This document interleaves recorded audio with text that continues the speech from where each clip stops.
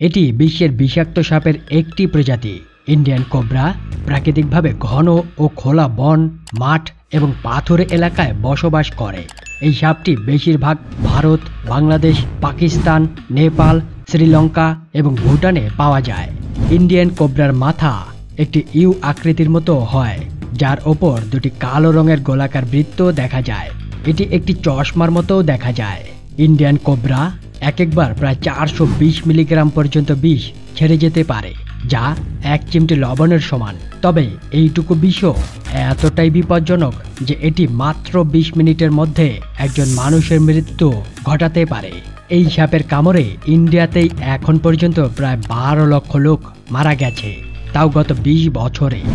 আর এই সাপের লম্বার কথা বললে ইন্ডিয়ান কোবরা আঠারো ফুট পর্যন্ত লম্বা হতে পারে।